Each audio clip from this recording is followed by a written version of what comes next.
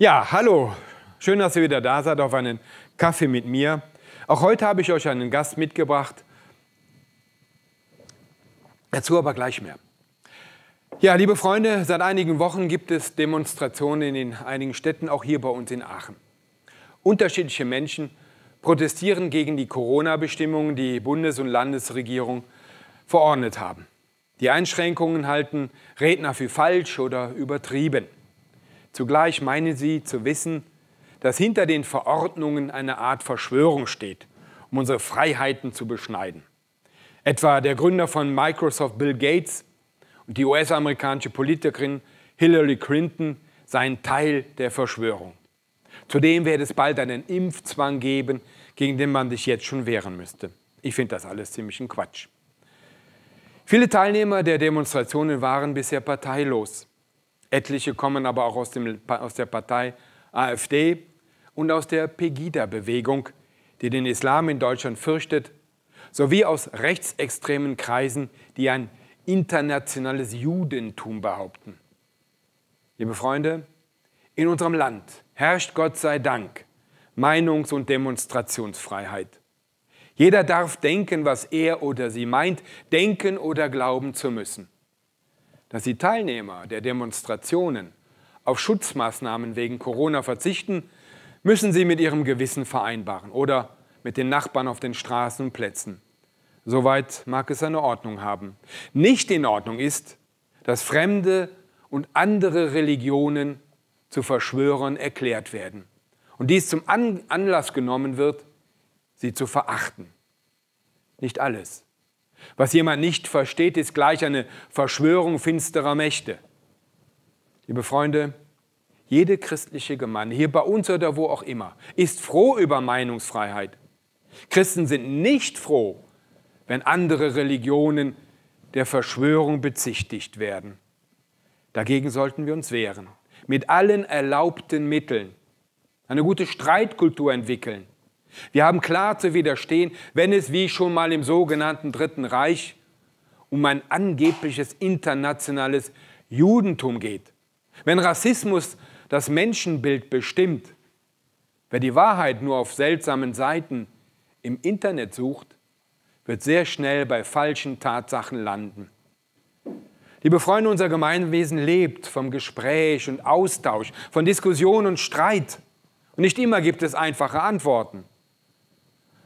Als Christen und überhaupt, wir feiern bald Pfingsten, den Geburtstag der Kirche, Fest des Heiligen Geistes. Für uns Christen bitten wir um Gottes Geist, der einander suchen und finden lässt, der hilft, trennende Gräben zuzuschütten, der Brücken baut gerade dort, wo es schwierig ist. Und, liebe Freunde, Gottes Geist kann auch ganz anders wirken, als wir uns das vorstellen. Dazu eine kleine Geschichte aus Amerika. Sie staunten nicht schlecht, die paar Menschen, die vor einiger Zeit ein Testament aufmachten. Eine weithin unbekannte Sekretärin war gestorben in New York im Alter von 96 Jahren. Was soll die schon hinterlassen?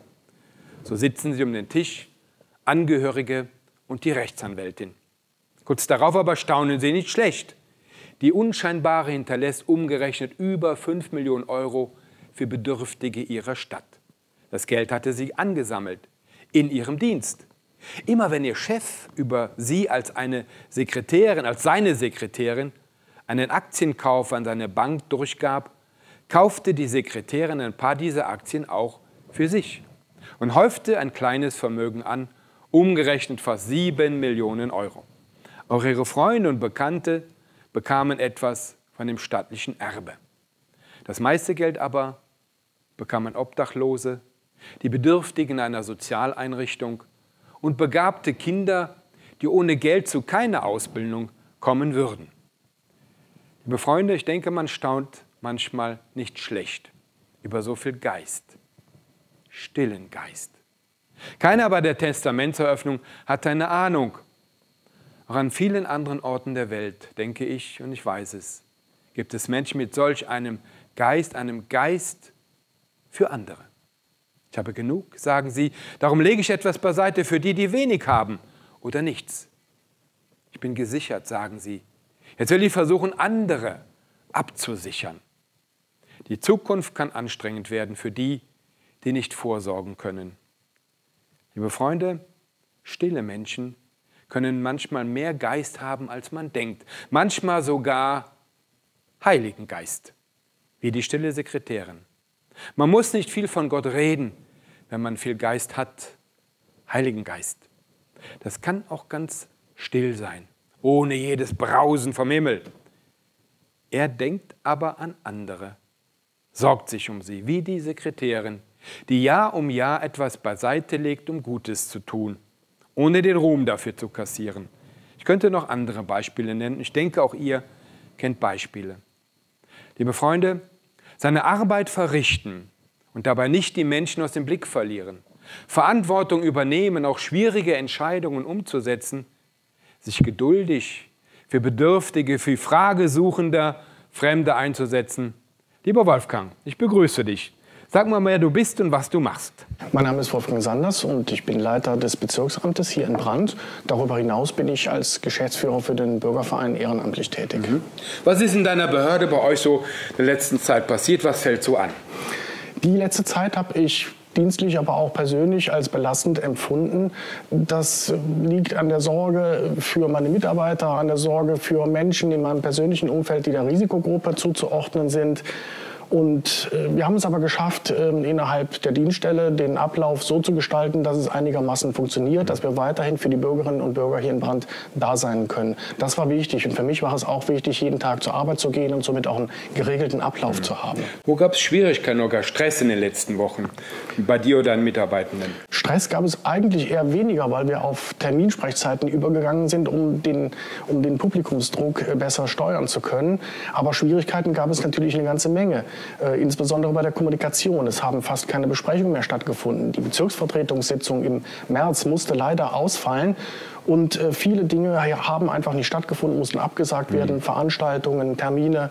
Das, das, war schon, mhm. äh, das war schon sehr schwierig. Würdest du denn sagen, die letzte Zeit hat doch irgendwas Besonderes, vielleicht sogar Positives für dich oder für andere mitgebracht, die du erlebt hast?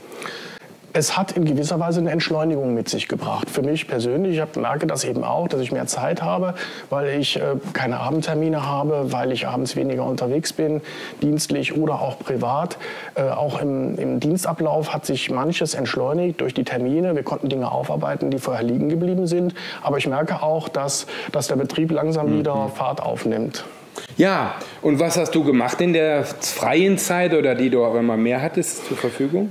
Ich habe mich mit meinem Hobby beschäftigt, mit dem Fotografieren. Ja, erzähl uns ein bisschen was. Du hast ein interessantes Hobby. Ja, seit dem 18. Lebensjahr trage ich eine Spiegelreflexkamera mit mir herum und ich mache gerne Aufnahmen einerseits von Menschen, aber auch von Szenerien. Da ich gerne reise, nutze ich die Kamera natürlich auch, um, um doch Dinge festzuhalten. Aber das ging ja in der letzten Zeit gar nicht, äh, das Reisen. Und so habe ich mich wieder mehr mit dem engeren Umfeld befasst. Mhm. Bin auf Brand unterwegs gewesen und auch in der Aachener Innenstadt, um da eben Szenen aufzunehmen, die wir so hoffentlich nicht nochmal erleben werden. Menschenleere Straßen und Plätze beispielsweise. Du hast uns was mitgebracht. Sag uns zu den Bildern, die wir dann gleich sehen werden. Ich war beispielsweise auch mehrmals abends unterwegs in Aachen in der Innenstadt, um Bilder zu machen. Und ich habe ein paar, ein paar Bilder mitgebracht mit Sehenswürdigkeiten drauf, die wir als Öscher alle kennen und lieben. Also aufgepasst und hingeguckt. Vielen Dank schon mal. Gerne.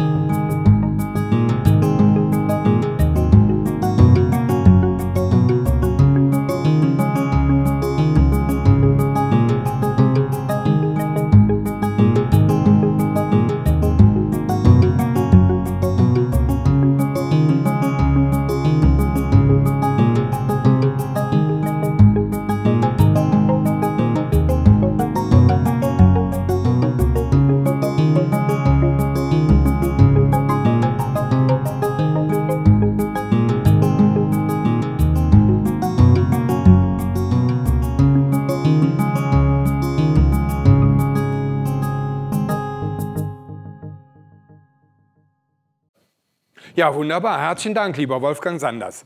Ja, liebe Freunde, ich grüße euch zu Pfingsten mit einem alten Kirchenlied. O komm du Geist der Wahrheit und kehre bei uns ein. Verbreite Licht und Klarheit, verbanne Trug und Schein. Gottes Segen, macht es gut. Bis zum nächsten Mal, dann wieder mit einem neuen Gast. Und vielen, vielen Dank auch dir nochmal. Tschüss.